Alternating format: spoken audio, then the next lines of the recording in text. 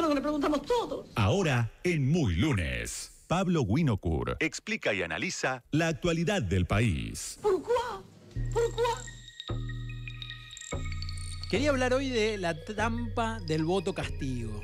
La trampa del voto castigo.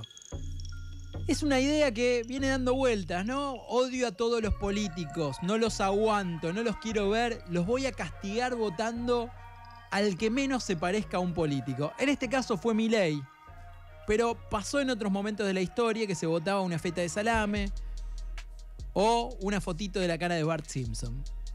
Pensamos que votando con el voto castigo, castigamos a la clase política. Pero en realidad, ¿saben qué? Nos castigamos a nosotros mismos. Vuelvo a la experiencia de 2001. Mucha gente votó a la feta de salame. Pero al final no gobernó una feta de salame. ¿Saben quién gobernó? Eduardo Dualde. El mismo tipo que había perdido la elección en 1999, a la que, al que la gente no quiso votarlo y terminó gobernando gracias a los que votaron a la feta de salame. El voto castigo sirve para castigarse a uno mismo, porque en definitiva alguien tiene que gobernar un país.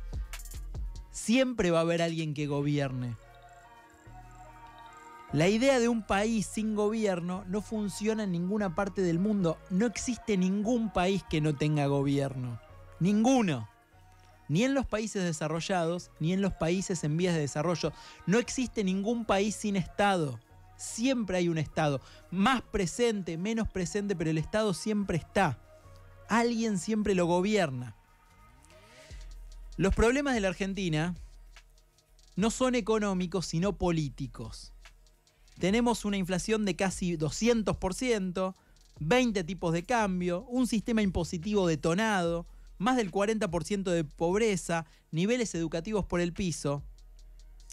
Pero eso, ¿saben qué? No es una causa, no es una, no es una causa en sí mismo.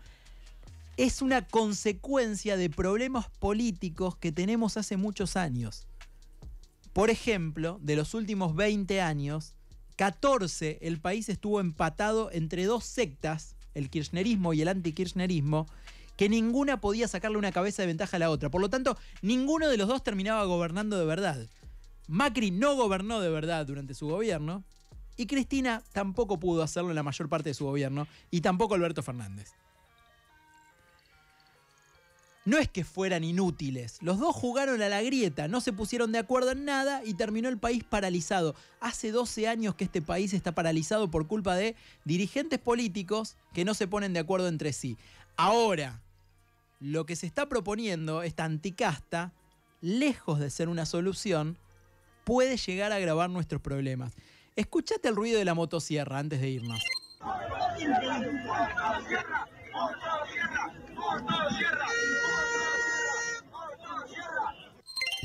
Una motosierra sirve para tarar árboles, pero también sirve para asesinar.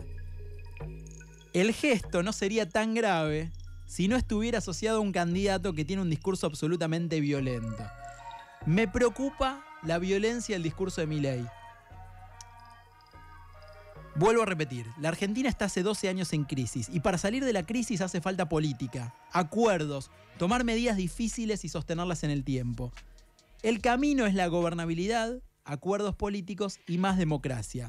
Y cortar con la violencia, porque la sociedad argentina ya tuvo mucho de eso durante todos estos últimos años.